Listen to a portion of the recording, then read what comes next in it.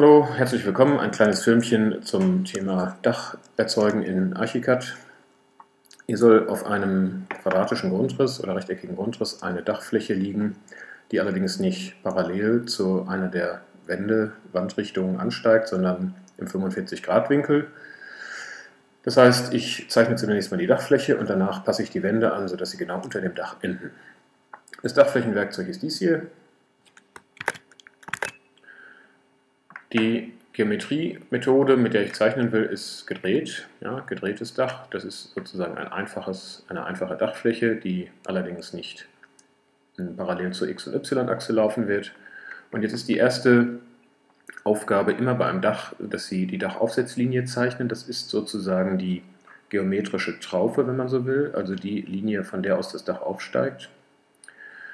Ich möchte gerne, dass es im 45-Grad-Winkel läuft. Ich habe hier extra eine Linie schon gezeichnet, eine Hilfslinie. Ich kann diese Dachaufsetzlinie jetzt zeichnen. Es ist egal, wie lang die ist. Es ist wirklich vollkommen egal. Hauptsache, sie liegt an dieser, auf dieser Hilfslinie. Ein zweiter Klick beendet das Ganze. Jetzt klicke ich mit dem Augencursor in die Richtung, in die das Dach ansteigt. Und jetzt kann ich die Dachfläche zeichnen. Ich mache das mal extra möglichst ungenau, damit man später sehen kann, wie gut man das Ganze sozusagen noch editieren kann. So, das Ganze sieht ein bisschen, ist ein bisschen schlecht erkennbar. Ich hoffe, so können Sie es besser sehen. Jetzt kann ich diese Dachfläche anpassen.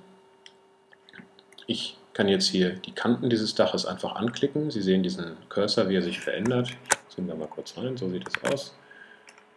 Und jetzt kommt diese Pad-Palette, die Sie schon kennen. Jetzt brauchen Sie nicht in Panik zu geraten. Sie klicken einfach in aller Ruhe auf diesen Button hier. Und dann können Sie die Dachfläche erweitern. Ich fange mich hier an diesem Eckpunkt ein. Ich möchte natürlich nicht, dass das Dach darüber hinausgeht. Genauso hier. Und jetzt kann ich auch Punkte verschieben. Ich möchte natürlich, dass die Dachfläche genau über dem Grundriss liegt und nicht darüber hinausragt. Jetzt kann ich diese Punkte hier anklicken. Dann habe ich die gleiche Möglichkeit. Hier können Sie Punkte verschieben. Die ähm, richtige Funktion ist schon eingestellt. Falls es nicht so sein sollte, können Sie jetzt auch wieder in aller Ruhe hier oben in diese Pad-Palette klicken. Das ist aber die richtige Option, also ziehe ich jetzt das Dach da drauf.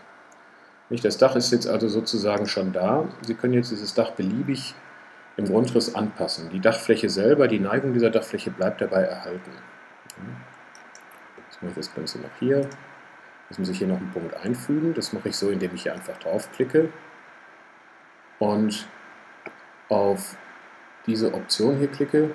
Ja, schauen Sie mal, ich habe auf eine Kante geklickt. Ich hatte vorher diese Option hier im Einsatz. Jetzt brauche ich aber die hier.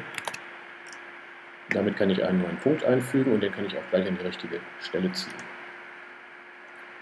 So, ich muss ein bisschen rausscrollen. Hier gibt es noch mehr Punkte, die ich anpassen muss. Einen dahin und den noch dahin. Jetzt ist meine Dachfläche richtig angepasst. Ich schaue mir das Ganze mal in einer 3D-Ansicht an. Dazu deaktiviere ich das Dach zunächst einmal, damit ich auch die Wände im 3D-Fenster sehe. Da ist also meine Dachfläche. Ja, genauso wie man es haben wollte. Ich habe also hier ein Dach, wie dick auch immer und wie geneigt auch immer, das ist jetzt eine andere Frage,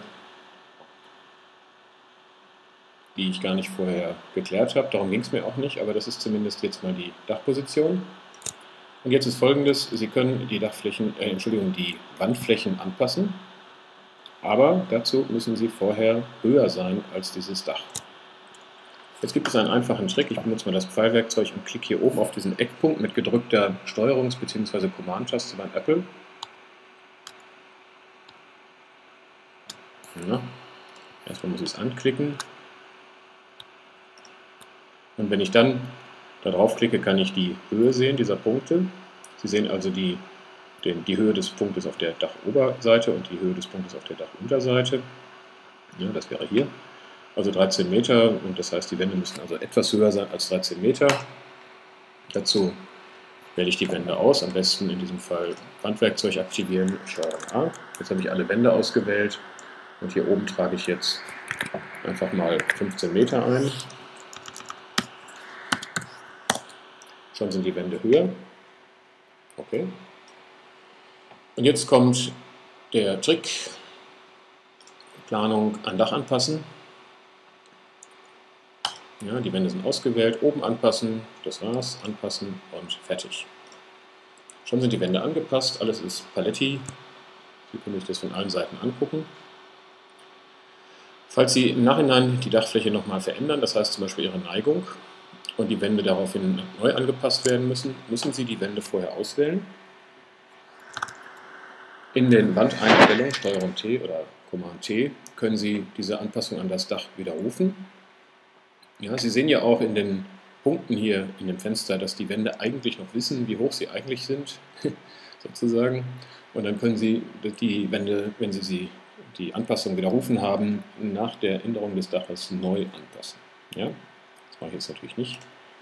Nur noch eine kurze Information zu der Dachfläche, Steuerung T, Command T. Sie sehen, Traufe liegt auf 2,70 Meter, die Neigung auf 35 Grad. Das kann man natürlich im Nachhinein auch ändern.